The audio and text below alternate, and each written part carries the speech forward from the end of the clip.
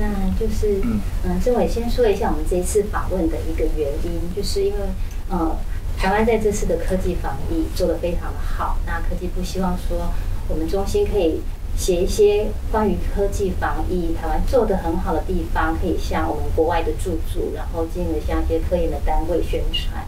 那因为这一次的防疫，就呃郑伟您居中担任非常重要协调的角色，所以我们希望可以借我们的一些经验分享，然后让更多人可以知道台湾这次做得好的地方有哪一些。啊，所以我们竟然要用 不用英文讲，不用不用 对。然后就是因为这次我们防疫的部分，其实在国外被很多的国际的媒体然后点名的赞誉，包括郑文宁本身也是被日本的媒体，甚至在多次的国外的访谈当中都有分享我们这一次科技防疫的作为。那当中做的很好的部分，其中之一是这个即时口罩地图，其实在当时大家还一片混乱的时候，起了很大安定民心的效果。那当时您是怎么样有这一个构想的契机，让政府跟民间的这个单位可以串起来合作？那口罩实名制的部分，其实现在已经进化到四点零了。那您觉得还有什么可以再优化的一些空间呢？是。呃，在当时就是最早的时候，我们昵称叫零点零的时候啊，就是在超商，虽然一个人只能买一次，但是你没有办法跨超商去确保说一个人没有在一个超商买完之后，马上骑摩托车又跑到下一家超商买的情况，所以确实是有几天的这个乱象，就是所谓的口罩之乱。那在那个时候，呃，就已经有一位吴展伟，他是台南的一个工作者，他的呃好想工作室。平常就有一些开发者在那边聚集啊，那所以他的那个工作室事实上也是科技部一个相关的专案 所支持的。那在这个过程里面，他就发现说，他的很多亲朋好友都在呃 Line 或者其他的通讯软体上面不断的向彼此回报说，哎，这边还有，这边没有了，这边还有，这边没有了。那其实就造成了很大的一个讯息沟通的成本，所以他就说，那不如就他来加一个简单的网站，让他的亲朋好友都可以在上面注记说，呃，这边还有口罩。而这边没有了，所以就是在超商阶段的时候，他就做了这样一个超商地图。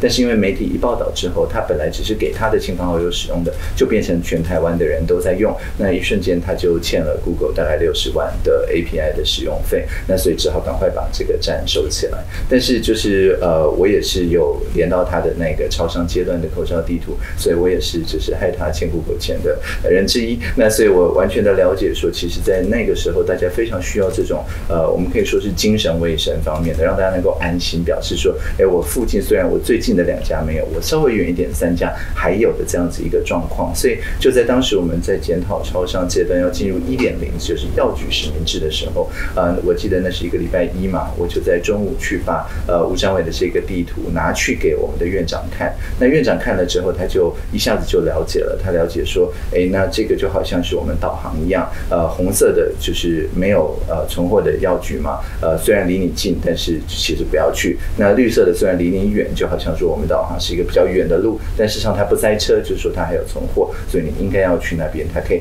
起到这样一个指引的作用。所以因为那样的关系，所以他马上就指示说，那我们也应该要在药局的阶段也纳入像这样子口罩地图的一个开发。那因为民间的时候已经有两个了，一个是吴占伟，一个是江明宗的，所以我们就没有自己再去开发任何的地图。相反的，我们是用所谓开放资料 （open data） 这样子的方式去请健保署去协调辛苦的药师们，愿意把他们的库存资资料不是每天，而是每三分钟把它释出给所有的社群朋友来使用。也因为这样子的关系，到现在已经有超过一百四十种，不管是一开始的地图，到接下来给视障者比较方便使用的表格、语音助理，或者是当时有一个叫疾管家，呃，是一个 LINE 的对话机器人等等。因为对很多长辈来讲，他用 LINE 要比较方便，比他下载一个应用程式要方便。也就是说，各种各样不同的使用者都可以用自己最呃轻松、最好用的方式去知道说它附近哪些口罩还有库存。所以这是当时呃一点零时候的状况。当然，在接下来就是我们的线上呃预购，就是二点零；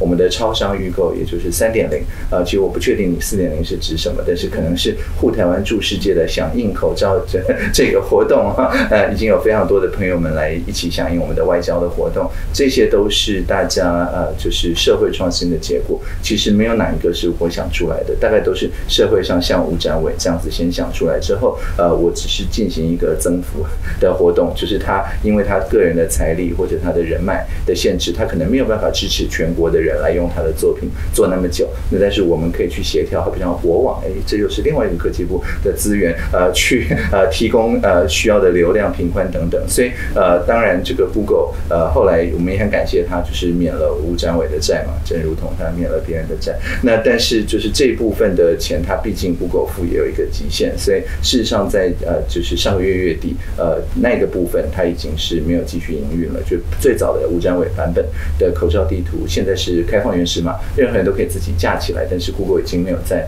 付它的流量的费用了。但是江明宗的那个版本就还在继续营运，而且它后面的所有流量、频宽等等都是由国网中心呃来捐助来支持，所以我们也非常感谢国网中心的捐助。所以未来它往什么方向发展，完全看社会上有哪些创意嘛。只要你创意这个拿起电话拨一九二，让我们知道，我们就会想办法把你的创意增幅。是的，那其实到目前为止，虽然嗯，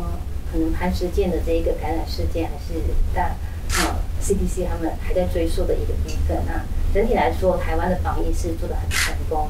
那您觉得台湾在这一次防疫的成功关键是什么呢？那接下来新科技以及开放资料。还可以在这一波防疫当中提供哪些助力？嗯，对我有稍微归纳，就是在呃，就是 The Web Conference 里面用所谓的 Fast, Fair, Fun，就是快速、公平、趣味这三个元素来解释台湾这方面的数位的社会创新。那我想快速的部分毋庸置疑，现在大家都知道有一个网友叫做 No More Pipe，呃，他在 PTT 上面贴了一篇所谓的护国神文啊，就是呃，当李文亮医师就差不多正在被他医院约谈的那个时候，呃，他。他的这个爆料，他的吹哨就被 PTT 这个网友贴了。那这位网友不但没有被约谈，而且事实上就立刻引起了机关署的注意。那机关署的防疫医师们也实际上看到李文亮医师所抛出来那些数据，理解到说这不像是造假，这看起来就像是 SARS 呃重新发生，所以才能够那么快的在一月一号开始就开始去做呃从武汉到台湾的班级方面的检疫啊等等这些活动。意思就是说，从我们的角度来看，呃民间的言论自由或者新闻自由等等，这个就像陈世忠指挥官在记者会说的，每一个记者都像侦探一样啊，是我们最好的伙伴。新闻自由并不是防疫的一个困难或者是挑战，相反的，我们就是因为有新闻自由跟言论自由，我们才能够去让所有人都能够充分的知道实际的状况是什么，以及如果有发现到一些机关署没有注意到的，好比像李文阳律师的爆料的话，能够透过这样子言论自由的平台，第一时间就让我们的机关署知道，所以这是快速的部分。那当然，快速的部分反过来讲。也要表示说，我们听取民间的社会创新相当的快速。好比像说，呃，之前就是不是有一个呃小男生说戴粉红口罩不敢去上学等等，那很快就有一个社会创新出现，就是呃那不如每个人都来戴这个粉红色的口罩吧。这个口罩颜色是没有性别的。那就在呃这个主意一出来之后，隔天呃就这个记者会上面所有人都戴粉红色口罩，然后合影等等。那这个其实绝对，你如果是用这个一般的由上而下。的这个官僚的思维的话，根本不可能想出这种主意来。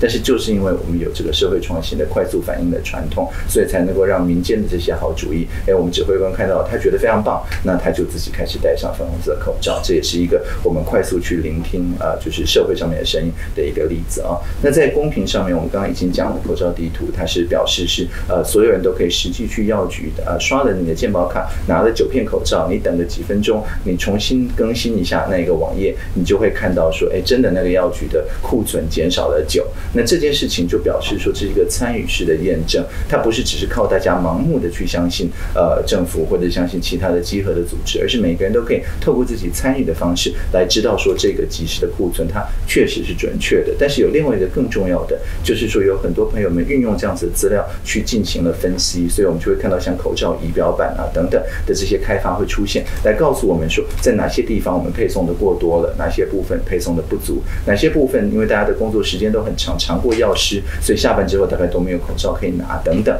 那这些如果不是有呃，就是我们及时的每三分钟公开的这样子一个开放资料的话，其实民间就算是想要帮忙，也是爱莫能助，是没有办法做出这种有点已经接近像股市或期货分析这样子的呃，就是供需比的这样子一个系统。所以未来的话，我想在这一方面我们还有非常多可以加强的，尤其是接下来我们到纾困跟振兴的这个阶段，那有哪些呃符合大家所呃需要使用的纾困或者振兴的方案？我们有一个一站式的网站嘛，叫做一九八八点台湾点 gov 点 tw 等等，这些都是接下来我觉得公民科技社群可以帮忙的地方，而且我们那个网站也是完全开放原始码出来，任何人都可以改做成自己想要的版本，就已经呃有我认识的朋友已经正在把它改成在手机上面可以运行的，有点像 app 那样子一个 web app 的一个版本。那第三个就是趣味的部分，趣味的部分当然我觉得这一次总裁的呃帮助是非常的大的，呃我就是呃我们陈指挥官的记者会当然收看的人是非常的多，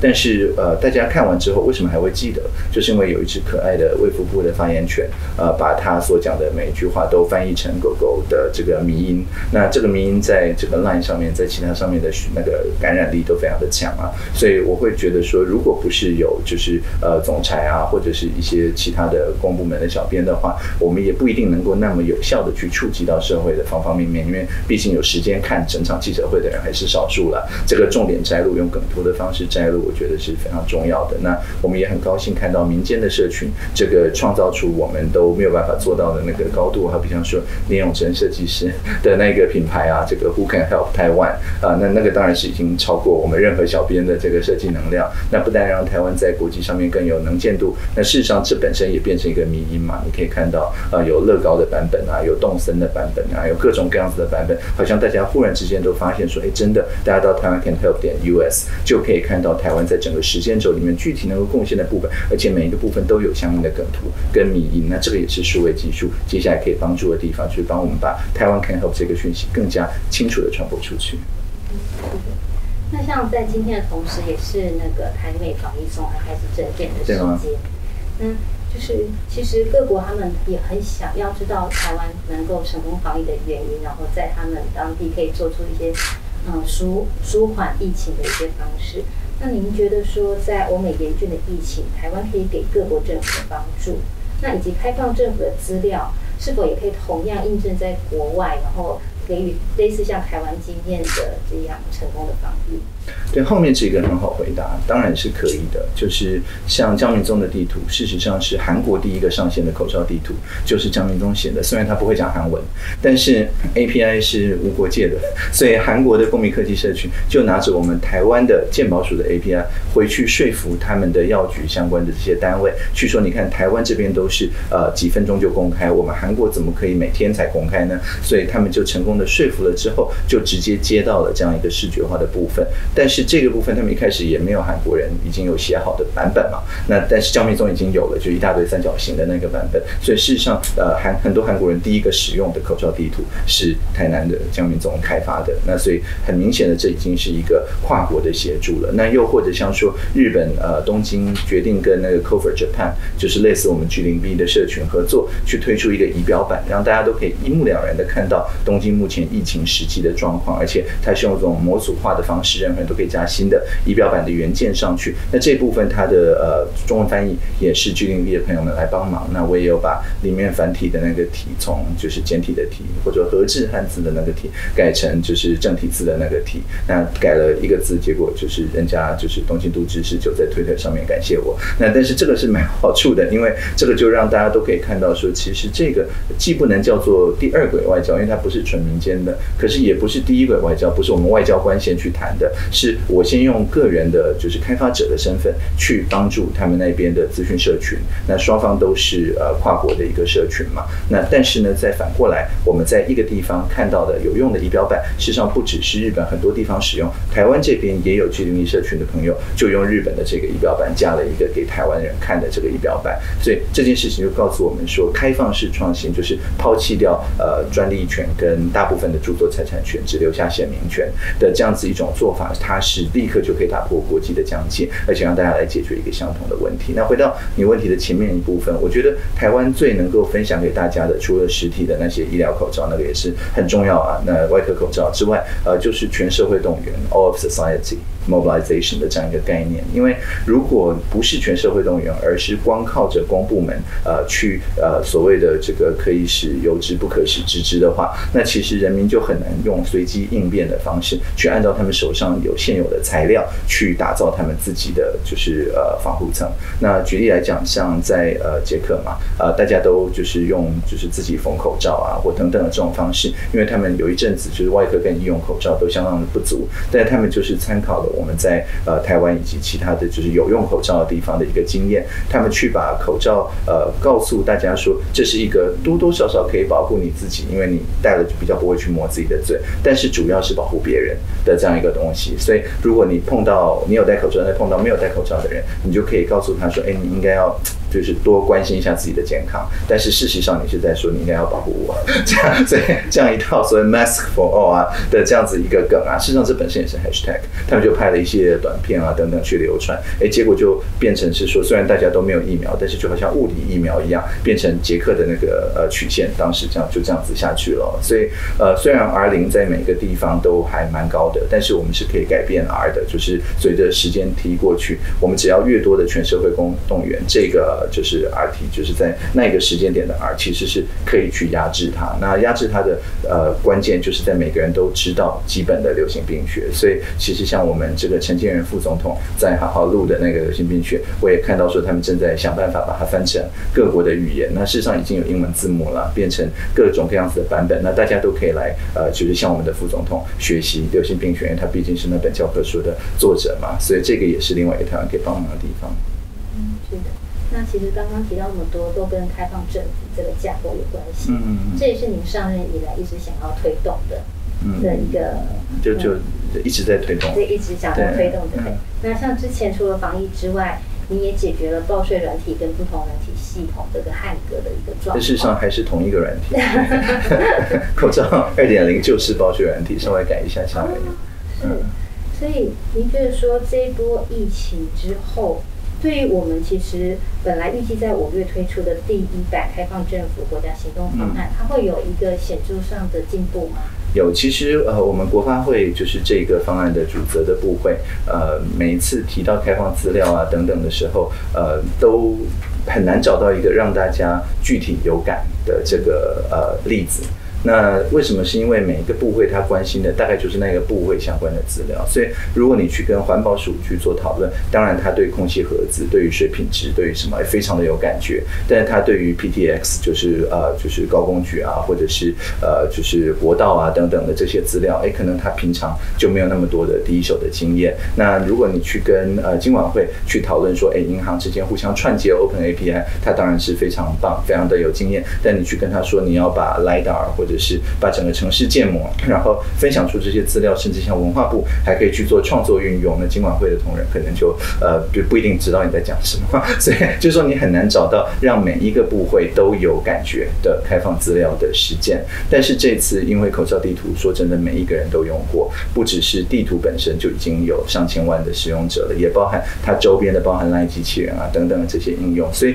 以至于说，当我们讲到呃这就是口罩地图的精神，或者说这就是口罩。地图开发的方式的时候，等于所有人都是利害关系人，而且大家不管一点零、二点零、三点零，总有。自己虽然即使没有在用，总有认识一两个人正在用吧。所以这个时候就让我们开放政府这件事情，我们要解释为什么透明不是只是政府资讯公开法事后你每天或者每季产生报表，而是你及时的透明参与。为什么不是只是办一场公听会，而是民间有创新的时候你就全力支持，但是不去主导。那这些基本的想法都因为这个鲜活的例子。当然，我们还是要搭配上每个部会自己业管相关的资料、相关的这些呃做法。去推动他们自己的议程，但至少我们有一个共同的语汇，让大家都可以一下子就了解说，哦，原来透明是要及时的透明，原来参与是整个创新组织的参与，而不是单独单独代表来的这样一种参与。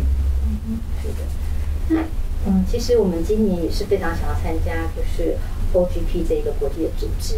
那相较于中对岸的中国，我们在开放政这一块，其实以防疫来说，它是一个很好的验证。这对我们参加这个组织是会有帮助的。呃，当然蛮有帮助。事实上，我已经正式获得那个组织邀请，也会在那个组织的线上会议里面去分享我们刚刚分享的这样子的一个经验，因为他们也想要呃去告诉大家说，你政府的集权，政府这个呃。比较往您刚刚所讲的，就是稍微比较数位集权的这样一种做法，呃，高这个强度的镇压言论等等，呃，因为确实有一些就是政治实体觉得说你要防疫成功就得靠这个，他们事实上也正在呃散播这样子的叙事嘛。那所以我们这边也要有一个相应的叙事，就是说诚然那也许是有一点用，但是它事实上是会放大那个社会里面本来就有那个维权的性格，但是我们这边因为是全社会动员。事实上，你如果去问呃街上说，哎，这个防疫是不是因为政府的关系什么之类，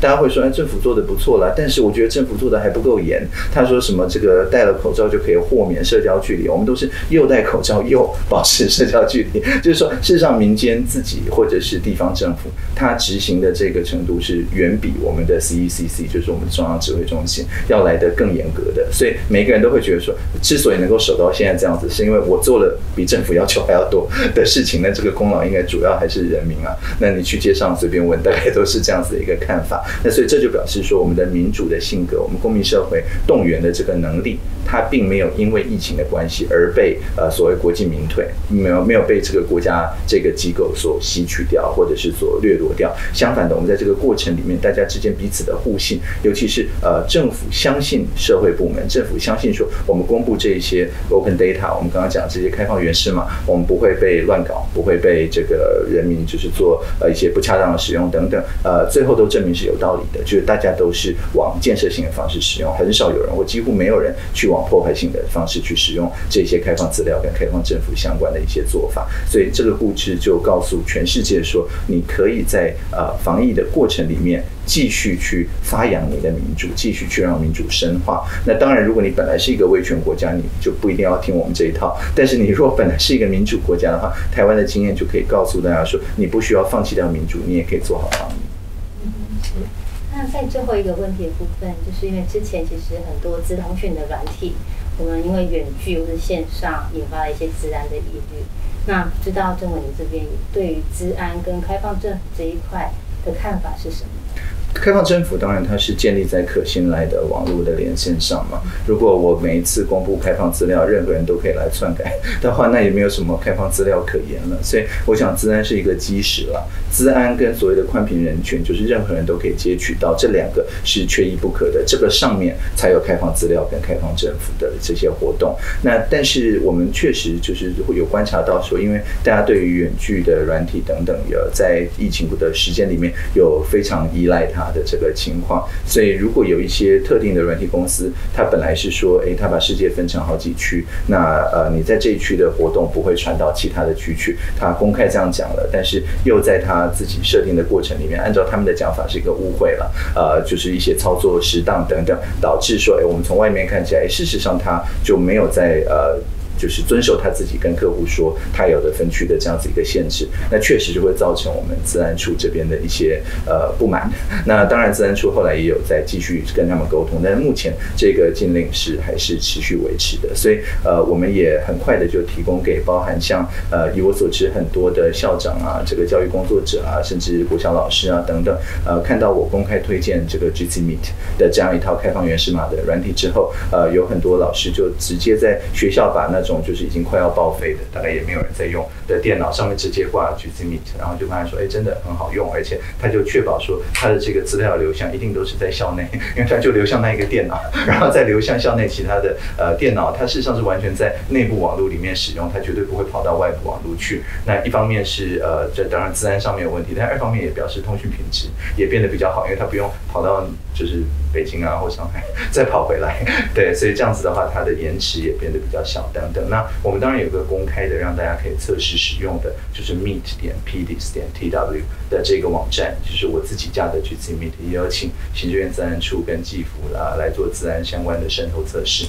等等的检测。那目前都没有发生有任何的问题的情况，所以很欢迎使用。那为什么能够呃这么这个呃完全不怕平宽成本的这个欢迎所有人来使用呢？因为这个平宽也是国网在付。哎。